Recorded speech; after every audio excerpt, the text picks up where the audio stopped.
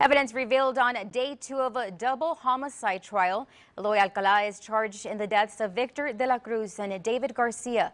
Both were found dead in 2010 with fatal gunshot wounds to their head. There were no witnesses to the crime. One of the victim's mothers says her son and Alcala's son had been involved in a physical altercation a few hours before his death.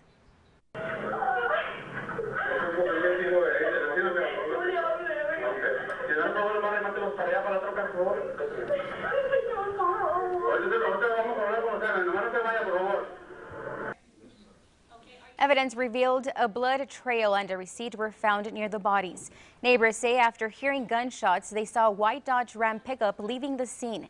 Leading to Alcala's house, investigators also found Alcala's Cadillac's front seats covered in blood. The trial will continue tomorrow.